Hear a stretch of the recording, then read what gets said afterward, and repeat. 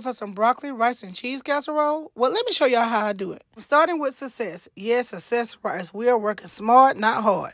So I'm just going to throw that into a pot, add in a little bit of salt, and let that come to a boil for about 20 minutes. Next, I'm going to throw my broccoli into the pot. I have fresh broccoli here. You guys can get frozen if you want to, but I'm using fresh.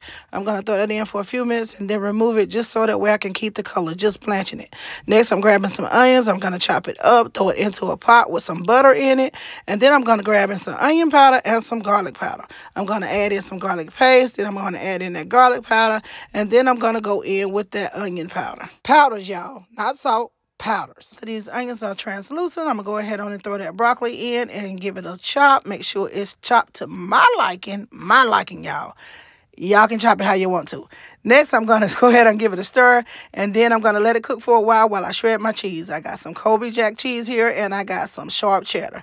Then I'm going to add in my sour cream first. And then I'm going to add my rice into that broccoli and onions. And then I'm using some cream of chicken and mushroom soup. Okay, chicken and mushroom and I'm going to just pour half of that in. Then I'm going to add in some broccoli and cheddar soup. I'm going to pour all of that in. Yep, I'm using all of it. So if you don't like sodium, don't add it. So next I'm going to go ahead on and add that Kobe Jack cheese in. Then I'm going to go ahead and add that sharp cheddar cheese in. And then I'm going to add in a cup of milk. Then I'm going to give it a quick stir to make sure some of that cheese is melted down for a little bit. Then I'm going to add it to my casserole dish. Once I get all of that in my casserole dish, I'm going to spread it out evenly. Now I'm ready to add the cheese to the top. Now don't that look good already, y'all? So I'm going to go with the Kobe Monterey Jack cheese and sharp cheddar cheese. I'm just going to add that right to the top. Now that I got that cheese on, I'm going to add in some parsley parsley for a pop of color.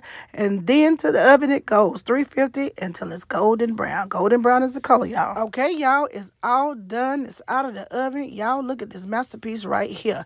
Now, don't that look divine? And y'all know my greedy spirit won't let me wait. I got to dig in while it's hot.